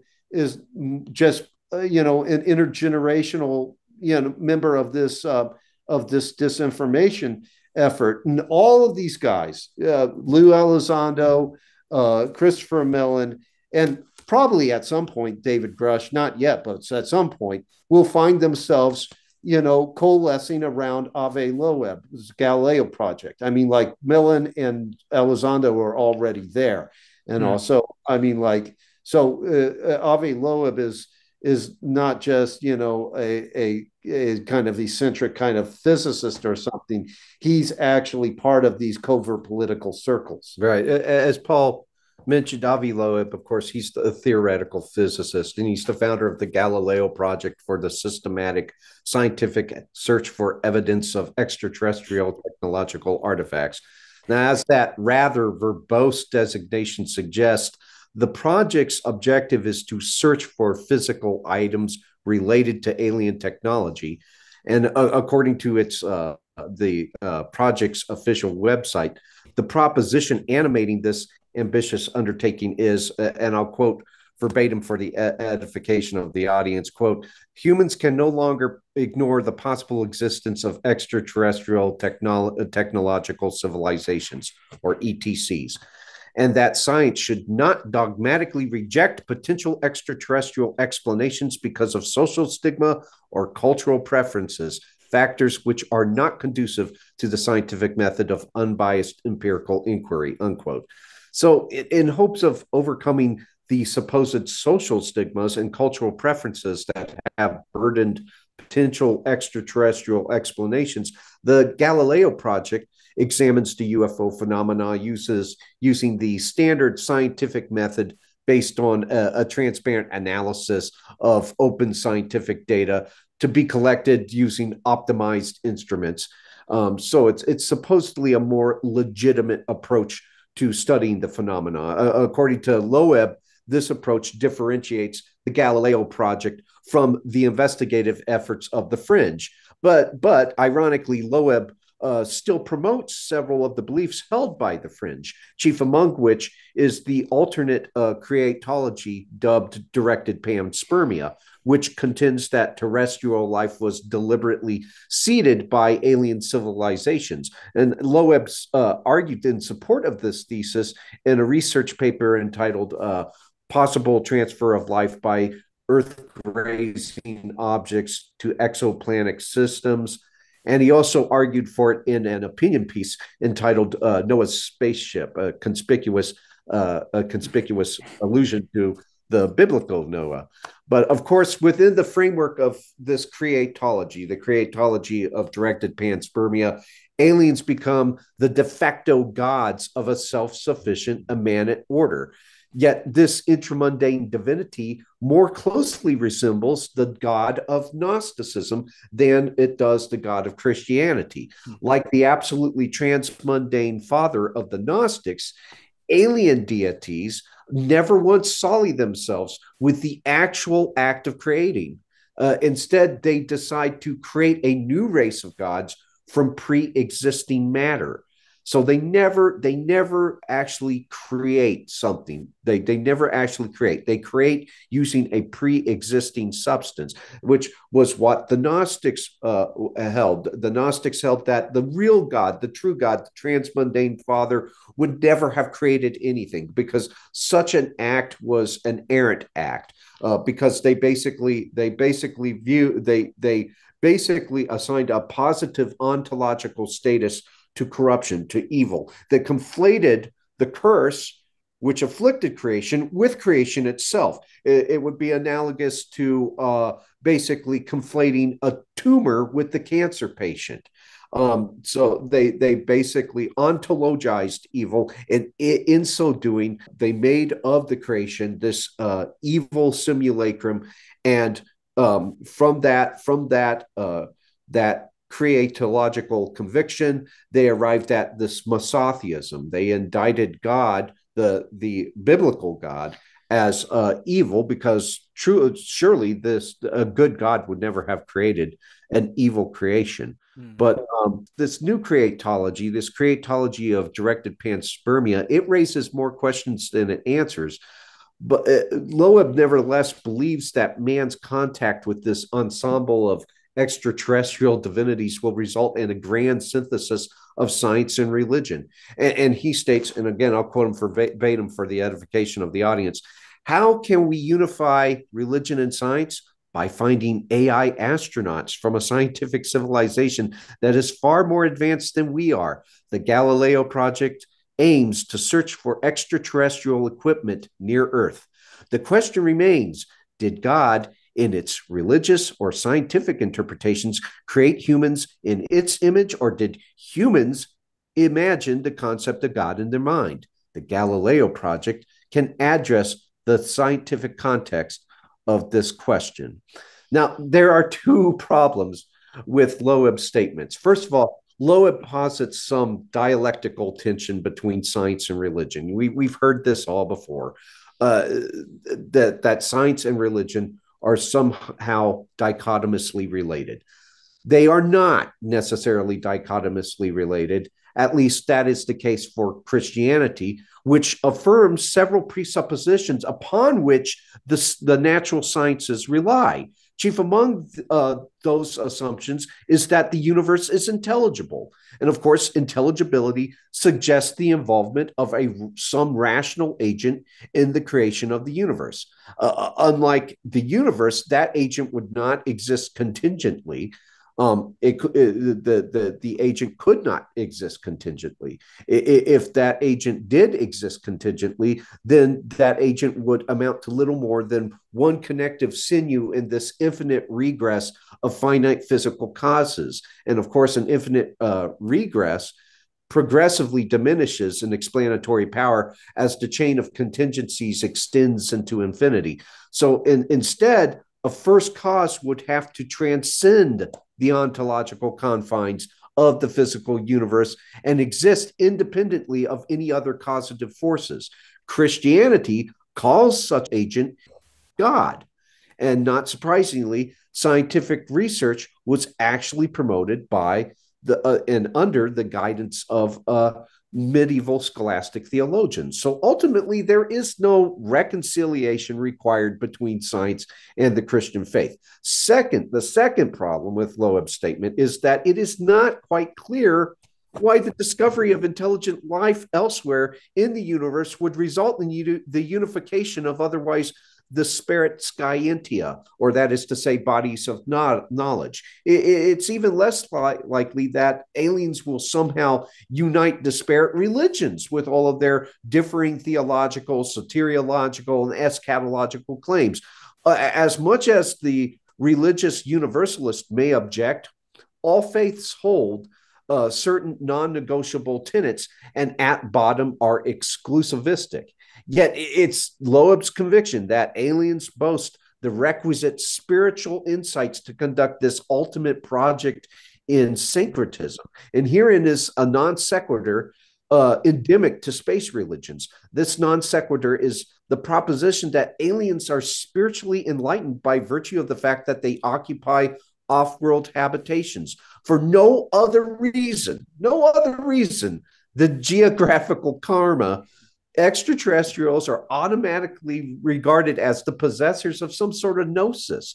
And in turn, the possession of this gnosis has supposedly facilitated the apotheosis of its interplanetary practitioners. Just, just as some uh, ancient pagan cultures ascribe deific uh, qualities to rocks and trees, the modern pagans of space religion transpose the divine into the expanse that separates celestial bodies into space. And because extraterrestrials traverse that uh, expanse, allegedly, uh, in technologically advanced craft, they are equally apotheosized, the chariots of the gods. This apotheosis is ex- exemplified by the pseudo theological musings of Loeb, who argues that uh, a scientifically advanced civilization would eventually mirror the divine. And those are his own words. As a matter of fact, he says, and I quote, a sufficiently advanced scientific civilization might be able to create synthetic life in its laboratories. In fact, some of our terrestrial laboratories almost reached that threshold. And with a good understanding of how to unify quantum mechanics and gravity, an advanced scientific civilization could potentially create a baby universe in its laboratory. Therefore, an advanced scientific civilization might be a good approximation of God, unquote. In, in an upcoming uh, documentary that, uh, entitled uh, God versus Aliens, um, Loeb basically predicts that extraterrestrials will probably make contact with artificial intelligence before they'll make contact with humanity. Uh, he, he, basically says that aliens, if aliens visit us, uh, uh of course, they will use their AI systems to interface with our AI uh, systems. And uh, they might actually develop a kinship towards our AI systems. Uh, so you know, humanity will play a very minimal minimal role in in uh, this uh, mediating with the uh, with extraterrestrial visitors. Wow. But yeah, now assume for a moment that there are very real extraterrestrials. Just assume that for a moment. You know, um, it, it, they're not going to be anything like what Avi Loeb envisions, or any of the uh, past thinkers who in, influenced his view of it. You know, um, uh, here's the way that a Christian would understand, you know, assuming they're real, and I don't believe they are. We're we're we're getting close to people finding out that that there that this has just all been gas, and and you know these disinformation agents and all they've been propping it up. Uh, these deep state actors have been propping it up with uh, popsicle sticks and and and paste, and you know, and and and that's eventually going to going to come out um, but assume for a moment that it, it is uh, that there are extraterrestrials out there. How would a Christian understand it? Well, you know, we we understand that Jesus Christ had two natures, human nature and uh, and and divine. Yeah, the He's hypostatic full- yeah. union. He's fully God and he's fully human. Okay. He doesn't have a Venusian nature. He doesn't have a Martian nature. He doesn't have a Zeta Reticulan nature.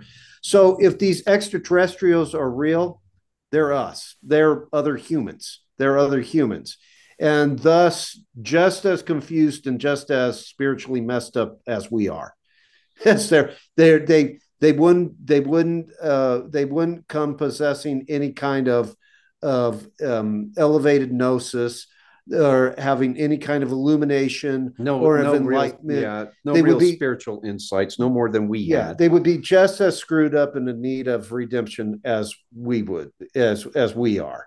You know, they they come with all the same uh all the same flaws and shortcomings that that we have and all so you know um uh, this uh, the, this the, what he what he is presenting what avi loeb and the deep state coteries around him are presenting is so far removed from from reality so far removed from from a, a sound understanding of spiritual issues that you know when when when the crash comes when we when when we realize that either there's no aliens at all or they're just other flawed humans and who knows how they got up there but you know.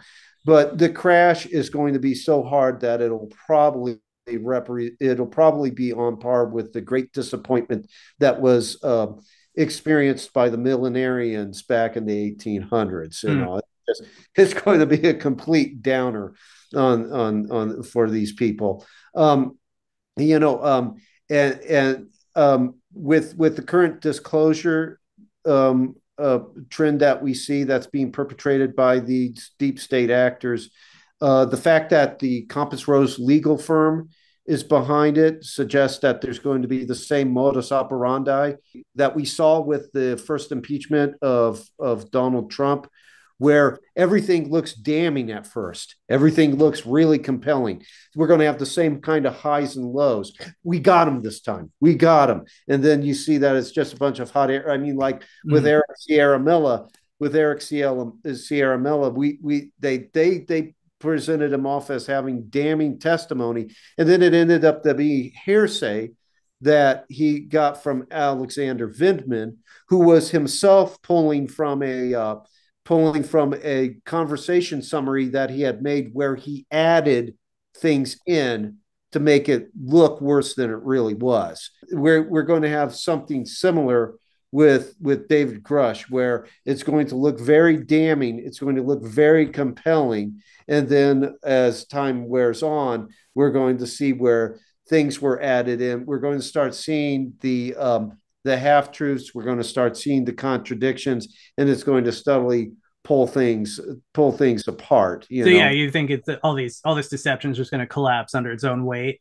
Yeah, Yes. I mean the only thing that can keep it going for much longer than what it than than its than its um, assigned lifespan would be literally like a false flag kind of um, uh, uh, some some kind of cosmic gulf of Tonkin. So right. Yeah, fake invasion or something yeah, like that. fake invasion. You know, they they use UAV technology or something something on par with it, and um, you know, a, I don't know, attack a ship in the South China Sea, and you know, and there's casualties involved, and in in the um, in the aftermath, initially you have some blaming of maybe China or Russia or some some foreign agent and you know then they start to say but wait there's more. And you know no it couldn't be them. And so they start you know um, presenting some kind of case for uh, this ship having been attacked by by craft from another world. That's the only way they could get any kind of more they could get any far more traction out of it than they Yeah. than they will If, if Yeah, I may uh, also say too, um, I, I I know that most most most of us most of us are not you know most of us are not students of philosophy, but the the human mind nevertheless you know being you know gifted to us by God and everything does have a uh, does have the uh, propensity for uh, philosophically deliberating certain questions, even if it doesn't employ the highly technical vernacular of philosophy. And and a, a lot of people are beginning to to see the logical insolvencies that pervade the uh, alien narrative. There's two key uh, uh, non sequiturs. Uh, well, actually, three. Um, the first uh, non sequitur is that every unidentified object in the sky must be an alien craft. There's lots of aerial phenomena we can't explain, but it doesn't logically follow from the premises that it's automatically craft from another planet piloted by extraterrestrials. Mm. It, could be any number of of of uh, phenomena. It could even be the uh, some phenomena that uh, the ufological community and the overall just the materialistic West would not wish to countenance, and that could be uh, miraculous. That could be you know signs in the heavens presented by God. Uh, the second uh, non sequitur is the non sequitur that by mere virtue of their own geographical circumstances, by just by geographical karma alone, the uh, that said beings would be in possession of some gnosis of not just not just technological and scientific insights mind you but spiritual insights as well. Well it doesn't logically follow from the premises that because a being comes from another planet light years away that it would have spiritual insights that we wouldn't. Perhaps technological and scientific insights sure uh, it, obviously, if it developed a propulsion system that could bring it here, but it doesn't logically follow from the premises that it knows anything more about spiritual realities than we do. And then the third non sequitur is that that that is that given the immensity of space, that it, it, it, it, there must be there must be life elsewhere in it. I, I call this the argument from potential uh, potential occupancy. Uh, let me explain what I mean by that. The the uh, the argument from potential occupancy goes like this: uh, I I I see a house with five rooms. Ergo, there must be five people living in that house. Well, does it logically follow from the premises that there must be five people living in a house just by virtue of the fact that it has five rooms? What if one of those rooms is a bathroom? What if one of those rooms is a basement? What if one of those rooms you know, is is I, I, I converted this into my man cave. Yeah, this is my pantry. Yeah. And it, it doesn't logically follow from the premises that because there is the potential for occupancy of those five rooms, that there must be five people there. Hmm. Likewise, just because space is immense, it doesn't logically follow from the premises that there must be other life in it. Perhaps space is immense, and again, this is a view. This is uh, uh, this is a, a, a Christian view that wouldn't be, you know, countenanced by the materialistic West or the ufological community. Perhaps it's immense because God meant for it to be, but, but meant for it to be populated by us, for us to to to uh, populate it, for us to reach out into it, to have inhabit it. Those are those are those are you know just the three uh, uh, non sequiturs that you see pervading the UFO narrative, and you know the the these these non sequiturs are becoming more and more uh, pronounced as we go along. and Um, and and it's just becoming more and more obvious to people. So, like at some point, to just continue to breathe life into it, they probably would need something large, some kind of catastrophic event, like a like a a, a false flag.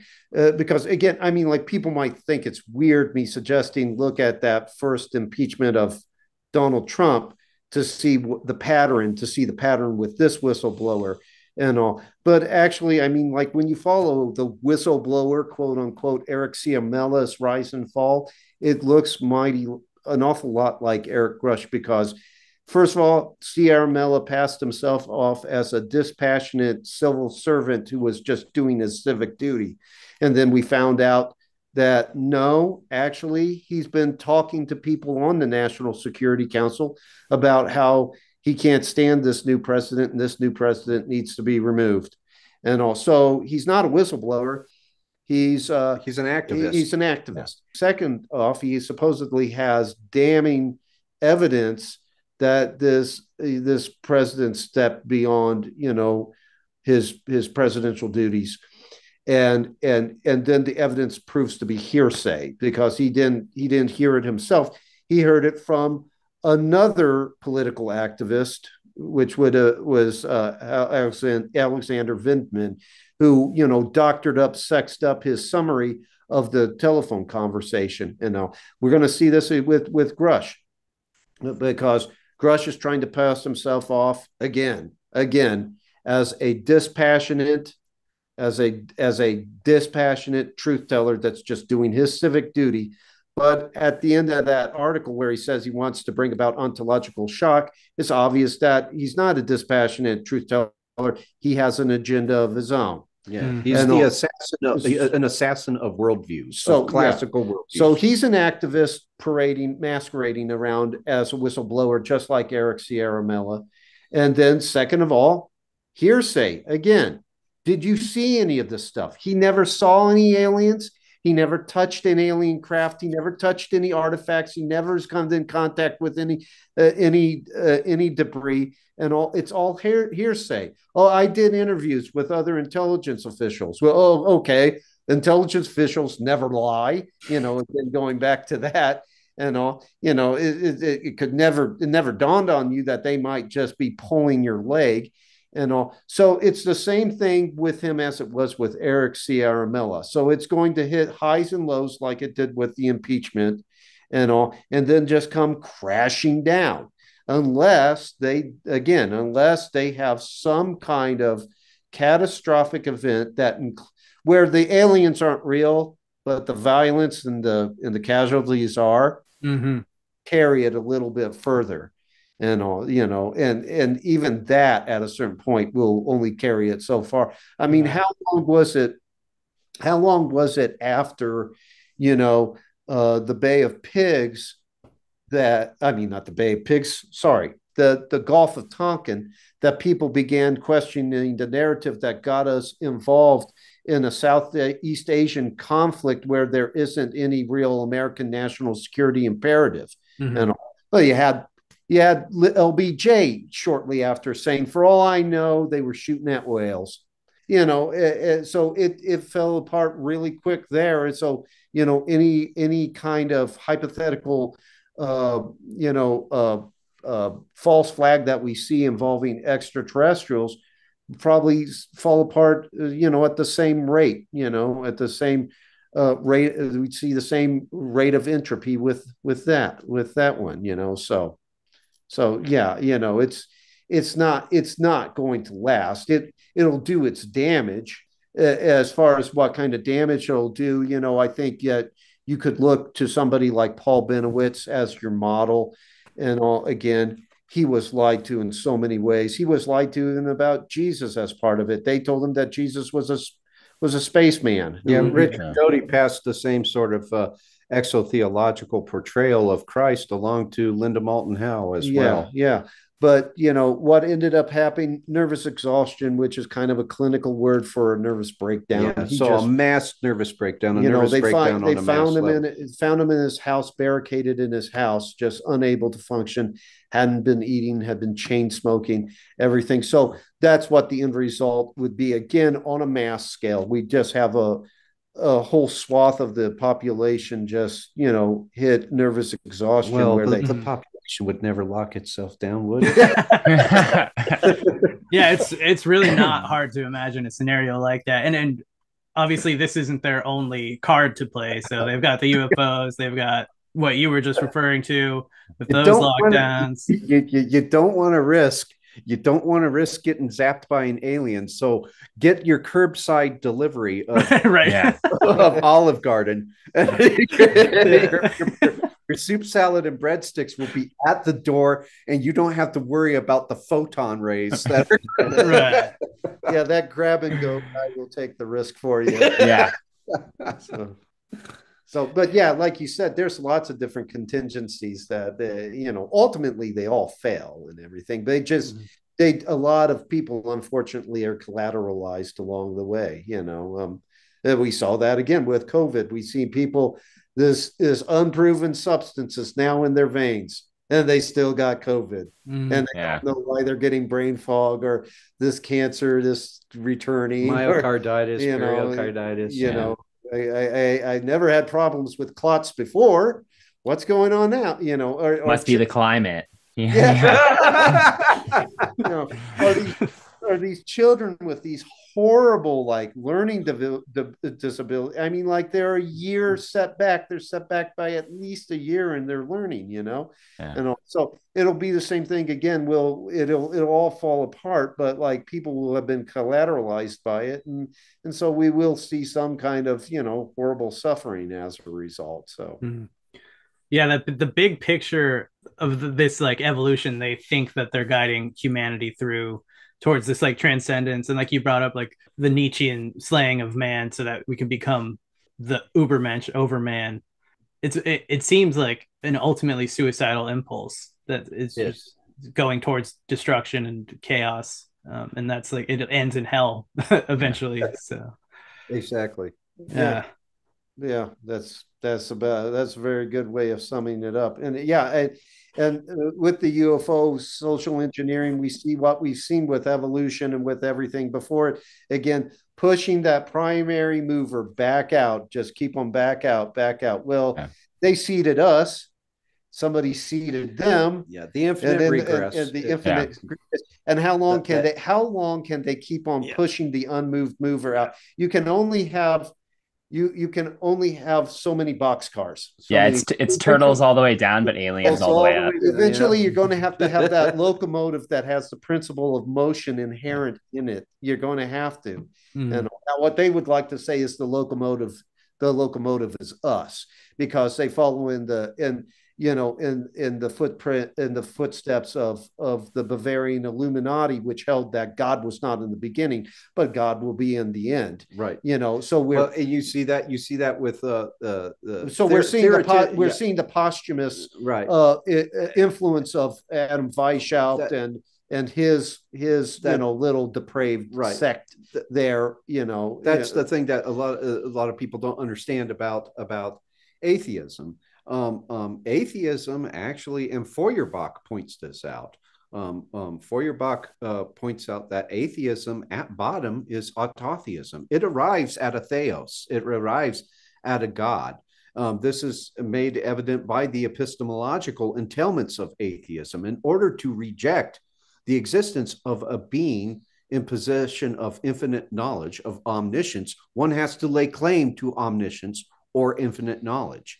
So so what so in in our in the rejection of God, one is a is adopting a quality of God. One is adopting a deific trait, and um, um, uh, the, we we already we we we already see we we see with with uh, the uh, the uh, alien narrative and directed panspermia the this the intimations of an intramundane divinity being insinuated in. Um, if we were seeded by these beings who evolved at, uh, just as we did out of the primordial soups of this causa sui self-generating universe, then surely we will become as they are. Yeah, but you can't you can't keep on pushing that unmoved mover out no. of the picture in hopes of displacing him and you know eventually which eventually he will assert himself just right. to show that he's still right.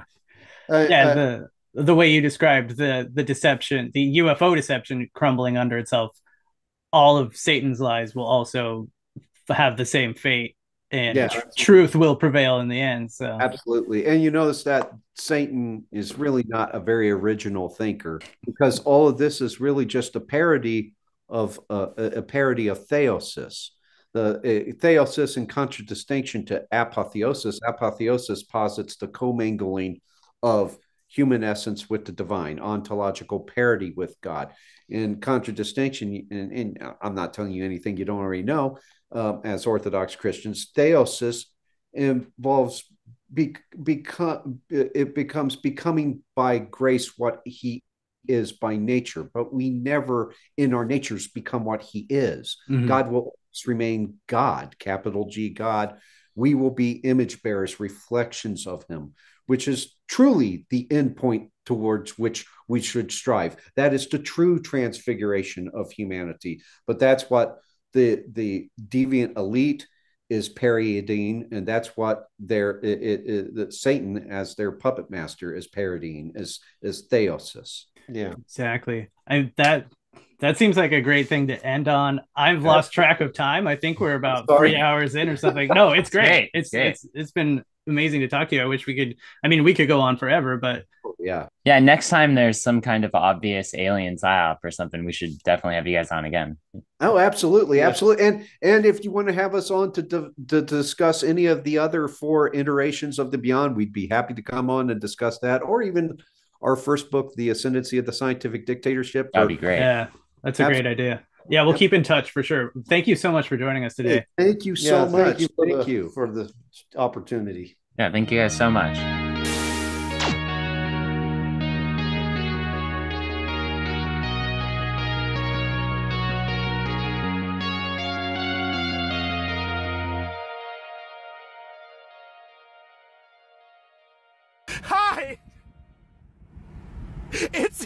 U.S. government! Aliens are real, you guys! Come on!